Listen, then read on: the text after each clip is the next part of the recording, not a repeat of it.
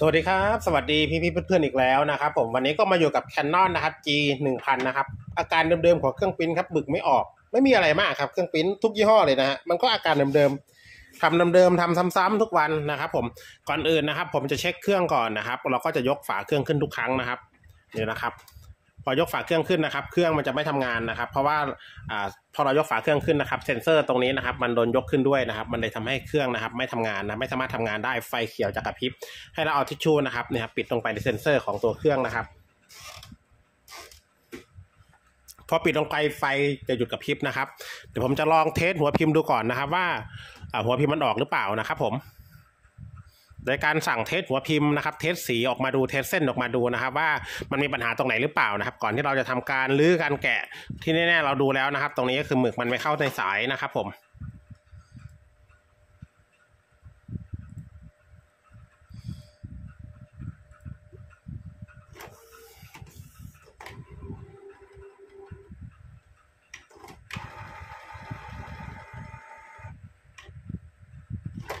ดี๋ยวเครื่องก็จะทำการชาร์จน้ำหมึกนะครับ เดี๋ยวจะเป็นเทสออกมาดูว่าสีมันออกหรือเปล่า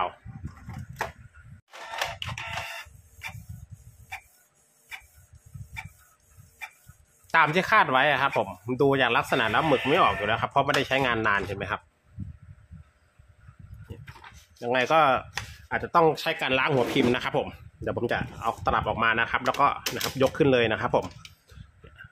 ในตลับไม่มีหมึกนะครับ ดูจากหัวพิมพ์แล้วนะครับ หัวมันก็ไม่ได้แตกนะ แต่เราก็ต้องล้างดูก่อนนะครับนี่นะครับ หัวพิมพ์ก็ไม่ได้แตกนะครับ หัวพิมพ์ก็ยังสะอาดอยู่นะครับผมเบื้องต้นเดี๋ยวผมจะใช้น้ำยาล้างหัวพิมพ์ของทางร้านนะครับแบบนี้นะผมจะแช่ทิ้งไว้ก่อนเลยนะครับ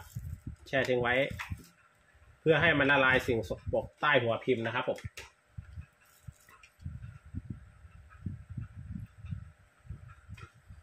เท ใส่พลาสติกภาชนะอะไรก็ได้นะครับ แล้วก็เนี่ยครับ แช่ทิ้งไว้นะครับ แบบนี้นะนะครับ อันนี้ผมใช้น้ำยาล้างหัวพิมพ์นะครับ ถ้าใครไม่มีน้ำยาก็ใช้น้ำเปล่านะครับ แช่ทิ้งไว้ เพราะว่าอ่าข้างในตัวหัวพิมพ์มันจะมีฟองน้ำนะครับ เวลาเราแช่ทิ้งไว้นะครับฟองน้ำมันจะดูดพวกน้ำยาขึ้นไปนะครับทำให้มันละลายสิ่งสกปรกที่อุดตันในหัวพิมพ์นะครับ ผมใช้น้ำยาผมจะแช่ทิ้งไว้แค่ประมาณสักห้าถึงสิบนาทีพอนะครับ ผมอะหลังจากที่ผมแช่ทิ้งไว้แล้วนะครับ ผมก็ เดี๋ยวเราเอาทิชชู่มาซับดูนะครับ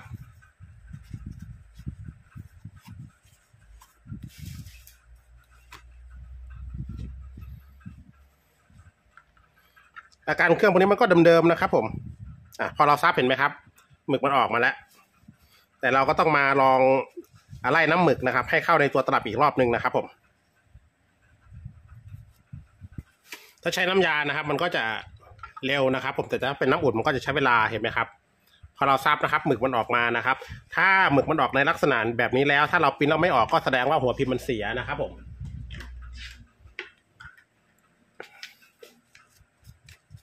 เช็ดให้แห้งนะครับเผื่อมันมีคราบน้ำนะครับ ติดนะฮะก็เหมือนเดิมในหลายๆคลิปนะครับ ที่ผมสอนนะเนาะนะครับเอาทิชชู่รองไว้นะครับ แล้วก็แบบสีดำนะครับสีดำก่อนนะครับ มันจะมีรูอยู่เห็นไหมครับ เอาเสียบให้ตรงกับรูนี้นะครับผม นะครับมันก็จะติดแบบนี้นะ จากนั้นผมจะใช้สลิงนะครับ แบบนี้นะครับ ดูดนะครับสลิงตัวนี้ก็เราทำจากชุดปั๊มของเครื่องแคนนอนเองนะครับ ใช้ได้กับแคนนอนที่เป็นตลับแบบนี้นะครับ ผม ประกบนะครับแล้วดูดนะครับ สังเกตน้ำหมึกที่สายแท้งนะครับ ผม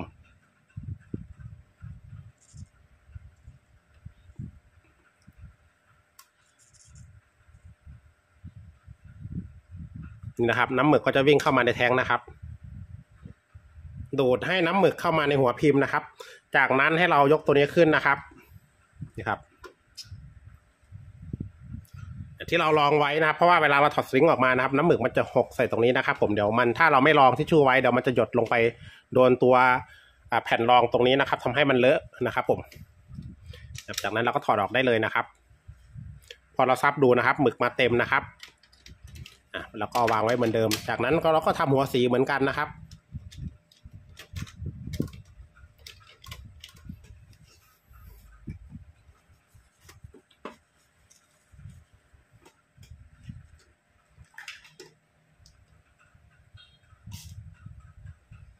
หัวสีก็จะเป็นตัวปั๊มหัวสีโดยเฉพาะนะครับผม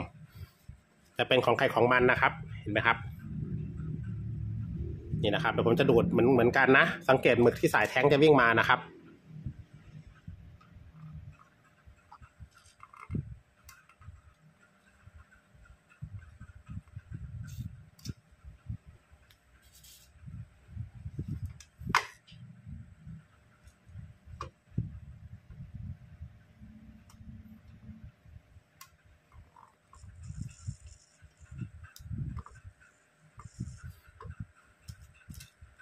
ประกบให้ดีนะครับ ถ้าประกบมีอ่าสูญญากาศมันก็จะดูดไปขึ้นนะ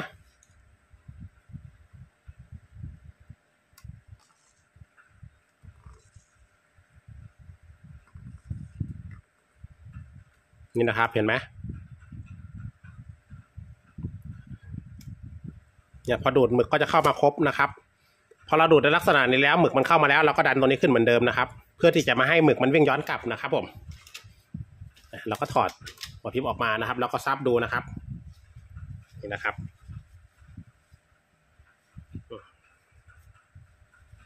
สีออกมาครบนะครับผม นี่นะครับ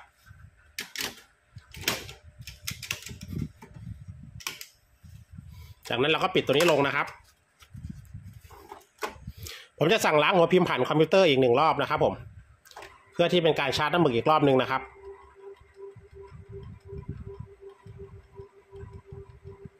แล้วหลังจากนั้นเดี๋ยวเรามาเป็น test ดูเพราะของเก่ามันไม่ออกแบบนี้นะครับผมเห็นไหมเดี๋ยวผมจะสั่งล้างหัวพิมพ์ผ่านคอมอีกรอบหนึ่ง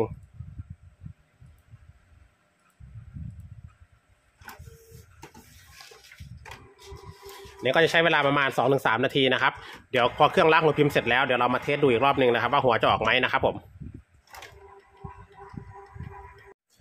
หลังจากเครื่องล้างหัวพิมพ์เสร็จแล้วเดี๋ยวเราลุ้นไปพร้อมกันนะครับ ว่ามันจะใช้ได้ไหมนะครับ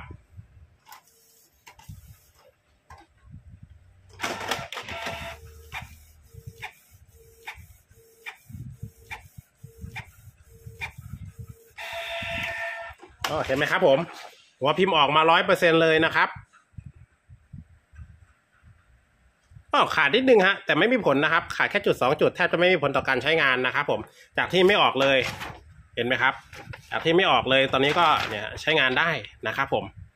นี่นะครับ ก็เป็นเทคนิคเล็กๆน้อยๆนะครับ ผมถ้าใครมีปัญหาแบบนี้ก็ลองทำตามดูนะครับสำหรับคลิปนี้ก็ขอตัวลาไปก่อนนะครับ ผมสวัสดีครับ